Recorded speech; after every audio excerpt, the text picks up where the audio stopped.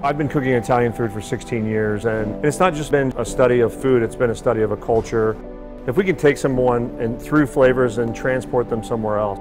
I like our kitchen and, and the creative energy and the camaraderie and the teamwork involved, whether it's ingredients or a technique or a presentation. You know, I want people to feel invigorated and better when they leave than when they came in. Find great chefs in grocery stores serving fresh, antibiotic free chicken at SpringerMountainFarms.com.